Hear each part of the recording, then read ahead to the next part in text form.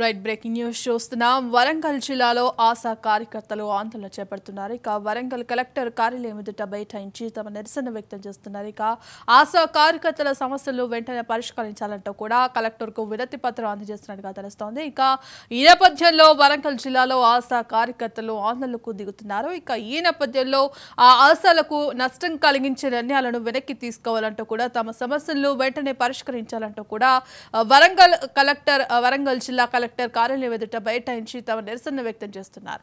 ఇక ఇదే అంశానికి సంబంధించి మరింత సమాచారం మా ప్రతినిధి కిషోర్ లైవ్లో అందిస్తారు. కిషోర్ చెప్పండి ఇక అటు వరంగల్ జిల్లాలో ఉన్నటువంటి ఆశా కార్యకర్తలందరూ కూడా వరంగల్ కలెక్టర్ కార్యాలయం ఎదుట బైఠాయించి తమ నిరసన వ్యక్తం చేస్తున్నారు. ఇక ఆశా వర్కర్లకు ఏదైతే సమస్యలు కలిగించే నిర్ణయాలు అయితే వెనక్కి తీసుకోవాలంటూ కూడా ఇప్పటికే అటు ఆశా కార్యకర్తలు డిమాండ్ చేస్తున్న పరిస్థితి కనిపిస్తుంది. దీనికి సంబంధించిన పూర్తి అప్డేట్స్ ఏంటి?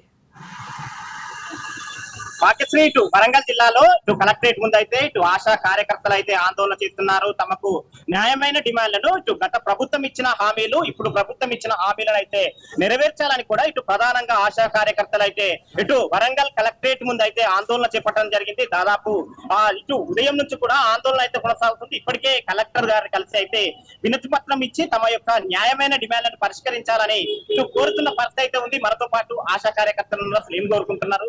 ఏంది అనేది తెలుసుకునే ప్రయత్నం చేద్దాం. చెప్పండి అమ్మా ఏం కోరుకుంటున్నారు? రాష్ట్ర ప్రభుత్వం గతంలో ఇచ్చిన హామీలు ఏంటి ఇప్పుడు ఈ ప్రభుత్వం ఇచ్చిన హామీలు ఏం కోరుకుంటారు ఆశా వర్కర్లుగా గత ఇరవై సంవత్సరాల నుంచి ప్రభుత్వానికి ప్రజలకు మధ్యలో మారధిగా పనిచేస్తా ఉన్నారు ఆశా కార్యకర్తలు. ఈ రోజు కేంద్ర రాష్ట్ర ప్రభుత్వాలు ఆశా వర్కర్ల చేత ఎగ్జామ్స్ రాయించి వారిని ఇంటికి పంపించే ప్రయత్నం చేస్తా ఉంది. కాబట్టి ఈ యొక్క నిర్ణయాన్ని వెంటనే రద్దు చే రద్దు చేసుకోవాలి. ప్రభుత్వం డిమాండ్ చేస్తా అట్లాగే రేవంత్ రెడ్డి గారు అధికారంలోకి వచ్చే ముందు పద్దెనిమిది వేల రూపాయల వేతనాన్ని వీళ్ళకి ఇస్తానని చెప్పారు ఆశా వర్కర్లకి. కాబట్టి వెంటనే ఆ యొక్క డిమాండ్ను అమలు చేయాలని చెప్పేసి డిమాండ్ చేస్తా ఉన్నాం. అట్లాగే ఆశా వర్కర్లకు టార్గెట్ల పేరిట అధికారులు అధిక వేధింపులకు గురి చేస్తున్నటువంటి పరిస్థితి ఉంది. దాన్ని కూడా రద్దు చేయాలని చెప్పేసి ఈ విధంగా ప్రభుత్వాన్ని డిమాండ్ చేస్తున్నాం. మీరు ఫీల్డ్లో ఎలాంటి ఇబ్బందులు ఎదుర్కొంటున్నారు? అమ్మా అసలు ఏంది? ఏం జరుగుతుంది? మేము ఊర్లో గ్రామాలలో స్వచ్ఛంద ఆరోగ్య కార్యకర్తలుగా పెట్టిండు ఫస్ట్ నుండి ఇరవై సంవత్సరాల నుండి మేము కష్టపడి చేస్తుండగా ఇప్పుడు రాత పరీక్షలు పెట్టాలంటే అప్పుడు ఐదో తరగతుల్లో అయినా కూడా ఉండాలని పెట్టిండు ఐదో తరగతి నుంచి ఉన్న వాళ్ళు ఇప్పుడు రాత పరీక్ష మూడు నెలలకు ఒకసారి సంవత్సరం ప్రతి సంవత్సరం కూడా రాత పరీక్షలు రాయాలంటున్నారు. కొందరు రాయలేకపోతున్నారు. ఇప్పుడు ఇరవై ఏళ్ళ నుంచి చేసి పిల్లలతోటి భర్తలతోటి కష్టపడి చేసి కరోనా టైంలో ఇంట్లో అందరిని వదిలిపెట్టి అందరికి ఇంటింటికి తిరిగి అందరికి మందులు ఇచ్చుకుంటూ అందరికి కాపాడిన వాళ్ళమైనాము. ఇప్పుడు మమ్మల్ని రాత పరీక్షలు పెడితే మేము రాత పరీక్షలు కొందరు రాయలేని వాళ్ళు ఉన్నారు.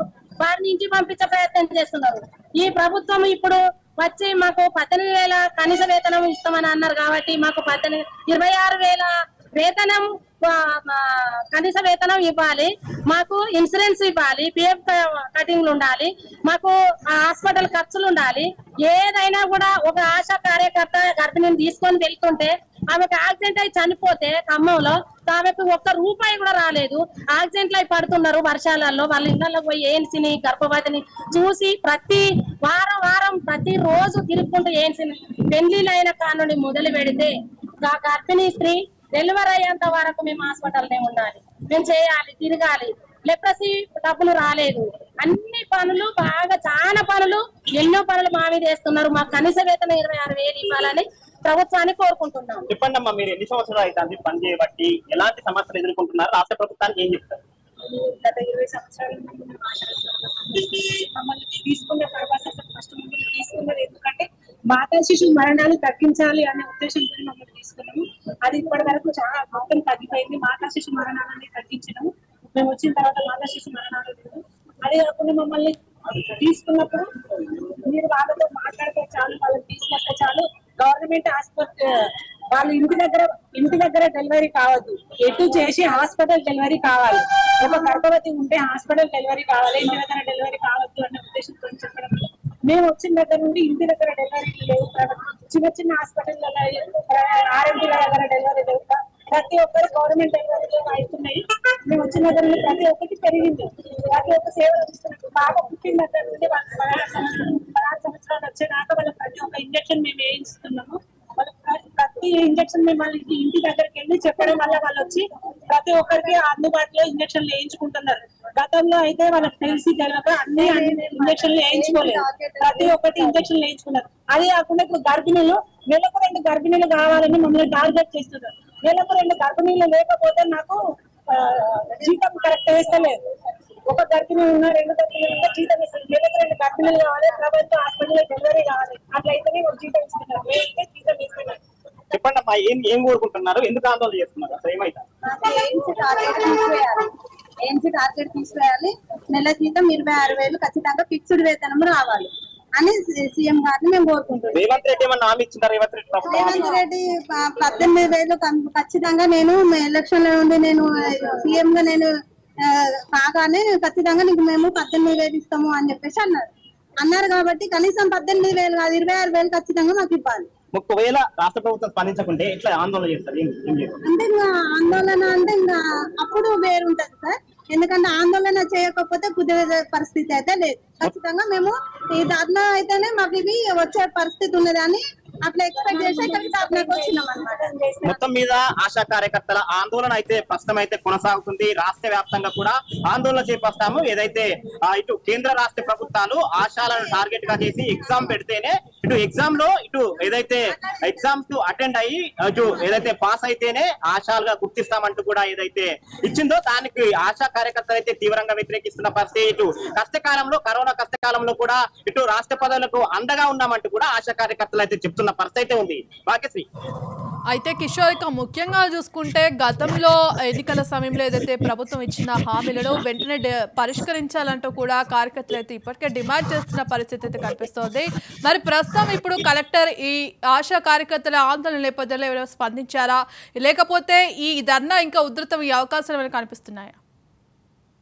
భాగ్యశ్రీ ఇప్పటికే రాష్ట్ర వ్యాప్తంగా గతంలో కరోనా కష్టకాలంలో కూడా ఆశా కార్యకర్తలు అయితే అండగా ఉండడం జరిగింది. గత ప్రభుత్వంలో కూడా ఎమ్మెల్యేల క్యాంప్ కార్యాలయాలను కూడా ఇటు ఆశా కార్యకర్తలు అయితే ముట్టడించిన పరిస్థితి. ఎందుకంటే న్యాయమైన డిమాండ్లు నెరవేర్చే వరకు కూడా ఇటు ఆందోళన కొనసాగిస్తామని కూడా ఇటు గతంలో గత కేసీఆర్ గవర్నమెంట్లో కూడా ఎందుకంటే కేసీఆర్ కిట్ ఇచ్చి ఇటు ఏదైతే సిహెచ్సి పిహెచ్సి సెంటర్లకు నార్మల్ డెలివరీ చేయించాలంటూ కూడా ఆశా కార్యకర్తలు ఒక టార్గెట్ అయితే విధించిన పరిస్థితి. గ్రామంలో ఎవరు కూడా ఇటు ఏదైతే డెలివరీ కున్నా కూడా వారు ఆ సురక్షకంగా తీసుకెళ్ళి ప్రభుత్వ హాస్పిటల్లో ఇటు డెలివరీ చేసేందుకైతే ఆశా కార్యకర్తల కృషి అయితే మరవలేదు ఏ చిన్న కష్టం వచ్చినా గ్రామీణ ప్రాంతాల్లో కూడా ఆశాల వద్దకి వెళ్తారు. చిన్నగా ఫీవర్ వచ్చినా కూడా ఇటు నార్మల్ మోషన్ అయినా కూడా అటు ఏ చిన్న కష్టం వచ్చినా కూడా ఆశా కార్యకర్తలే ఇటు ప్రథమ ఆ చికిత్స కోసం అయితే వెళ్తున్న పరిస్థితి అయితే ఆశాలకు రాష్ట్ర ప్రభుత్వం చేసింది ఏమీ లేదు. ఇటు ఏదైతే ఎగ్జామ్స్ అంటూ కూడా ఎగ్జామ్స్ నిర్వహిస్తామంటూ కూడా ఇప్పుడు మరీ కొత్త డిమాండ్ అయితే తెర మీదకి తీసుకొస్తున్నారు. ఆ యొక్క ఎగ్జామ్ నిర్వహించట్టు ఎందుకంటే ఇరవై సంవత్సరాల నుంచి పనిచేస్తున్నామంటూ కూడా ఆశా కార్యకర్తలు అయితే ఇటు చెప్తున్న పరిస్థితి అయితే ఉంది. ఇప్పటికే వరంగల్ జిల్లా కలెక్టర్కి అయితే వినతి పత్రం అందించడం జరిగింది. వినతి పత్రం అందించగానే ఈ సమస్యను రాష్ట్ర ప్రభుత్వం దృష్టికి తీసుకెళ్తామంటూ కూడా కలెక్టర్ అయితే హామీ ఇచ్చినట్టుగా కూడా మనకు తెలుస్తుంది బాధ్యత right thank you Kishore thank you for the updates